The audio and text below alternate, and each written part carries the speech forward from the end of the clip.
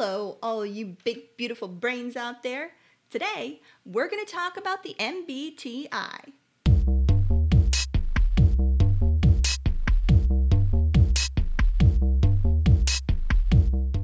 Before we get started, take a minute to subscribe to Psy vs. Psy. Help out your friendly neighborhood psychologist while I tell you all about the Myers Briggs Type Indicator. The Myers Briggs Type Indicator was developed by an agriculturalist, Katharine Cook Briggs, and her daughter, a political scientist, Isabel Briggs Myers.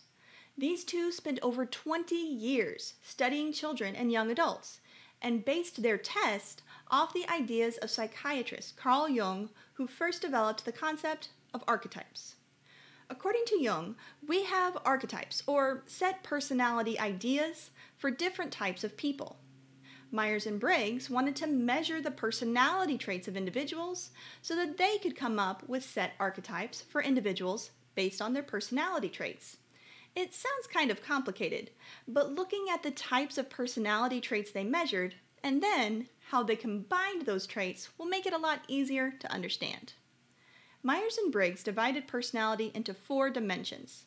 The first is extroversion versus introversion, represented by either an E or an I.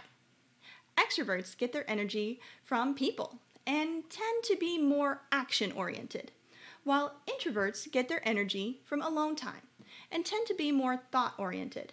Introverts and extroverts seem to be about a 50 50 split in the US population. The second dimension is sensing versus intuition, represented as either an S or an N, because, well, we already used the I for, for introverts. About 70% of the US population self report as sensing. Sensors are more concerned with facts, they're more reality based and practical. That's opposed to the other 30% who report being intuitives. Intuitives rely more on possibilities and their own creativity. The next dimension, thinking versus feeling, is about a 40 60 split in the US population. Thinkers, the letter T, are more concerned with things like justice and fairness when making decisions, whereas feelers, represented by the letter F, make decisions based on their own personal values and often self report being more caring and empathetic towards others. The last dimension is once again a 50 50 split. Half the US population considers themselves a judging or J type, which doesn't mean that they're really judgmental, just that they're more likely to be planners or rule followers. The other half reports being the perceiving, P type, meaning that they're more spontaneous and they don't really like following rules. Once you know where you fit along each of these four dimensions, you can reassemble your four traits into something like a Jungian archetype. For instance, an ISFP is given the archetype of artist and is considered to be gentle, sensitive, and creative. The opposite, an ENTJ, is called the executive and is seen as being strategic, logical, and ambitious. I just took the test and I'm an INFJ, the counselor, which means I'm organized, compassionate, and very insightful. Go me. but this just wouldn't be Psy versus Psy if it was all good news. While it's a lot of fun to take and can tell us about how you're feeling right now, the Myers Briggs actually holds very little predictive power. That's for two big reasons. The first, it's that it's a self report measure. Basically, it's a survey. And you all know surveys don't really hold a lot of weight as far as predictive power.